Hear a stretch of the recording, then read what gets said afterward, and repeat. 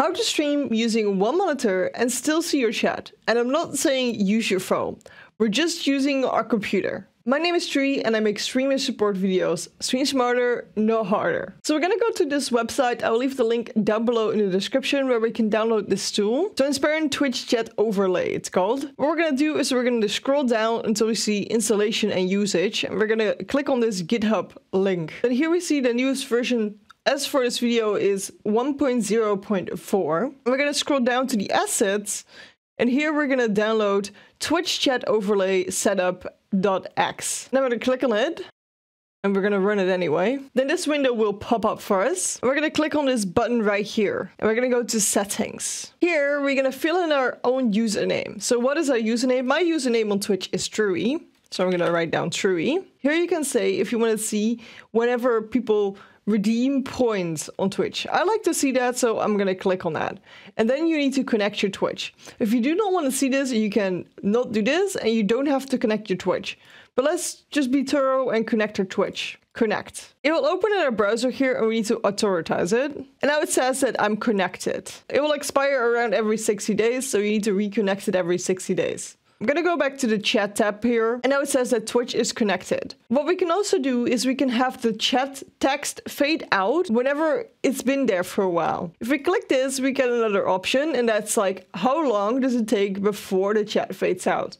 So now the chat time is 120 seconds. If a message has been in the chat for 120 seconds, it will fade out. It will be become invisible. So if you do have your chat here, this will become the chat window. You have like 10 messages and message 10 is here for a long time, it will become nine messages. A plus is that your chat will not be cluttered. A minus might be that your chat can become empty. If you do not like an empty chat, you can leave this out and your chat will always look full. However, you can also prefer that it will become empty whenever nobody is speaking, so it will trigger you whenever you see a message. It will be easier to see whenever something new pops up. You can also open the chat filter settings right here.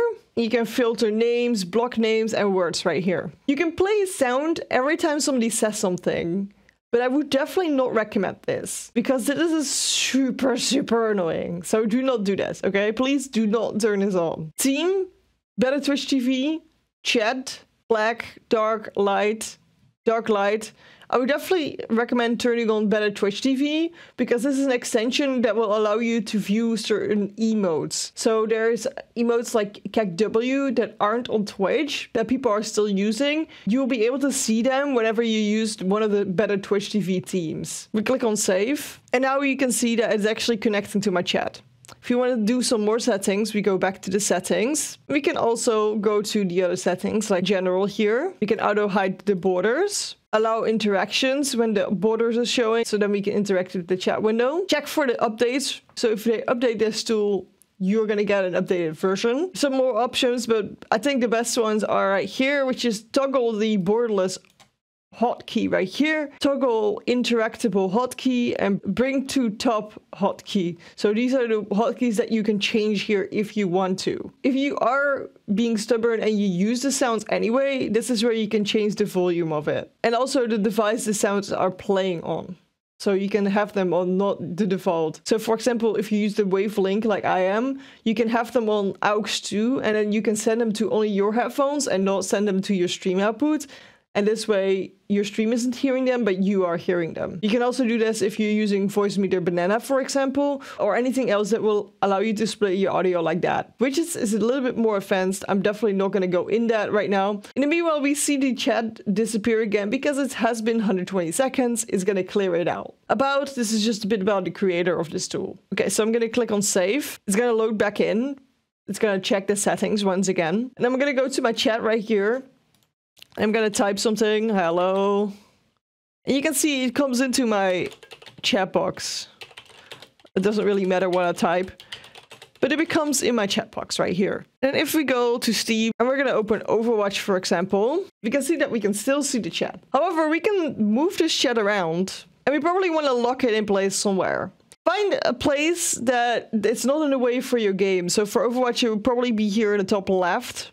To lock it in place, we need to press Ctrl Alt F9. Now it's locked in place. Ctrl Alt F9. If you forgot about these shortcuts, they are also the ones that you can change yourself. So now our chat is in here and after 120 seconds, these things will go away. Remember? We can't interact with them. If we want to interact with it again, we do Alt Tab until we're back at this. And then we can do Alt, Control Alt F9 and then we're back in it. Then Control Alt F9 and then it's back locked in. Uh, the only downside is the game options. The game itself needs to be in borderless windowed or windowed mode. It cannot be in full screen because you do not see the chat then. If you have your games on full screen, you you cannot use this tool because it, the tool will not be overlaid on the game, but will be displayed behind the game basically. Your game will your game will take up the full screen instead of like having a tool be laid over it. Let me write some more things down.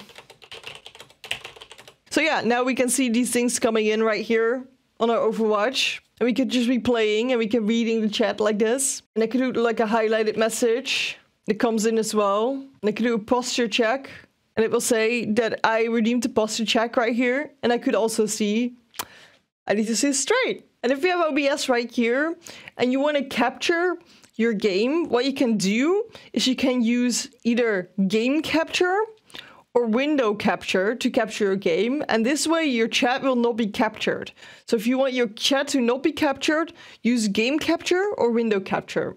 If you want your chat to be captured with your gameplay, you can use desktop capture. Uh, let's see where it is. Desktop capture. And this way it captures your whole screen. So it will also capture this chat window. So this is an easy way to overlay your chat over your one monitor and see your chat while streaming on just one monitor. I'm currently doing a series on how to become a successful Twitch streamer. So I definitely recommend watching that series right now, it's up here. So go watch it and there's some other videos right here that you should watch as well. And don't forget to subscribe to not miss anything.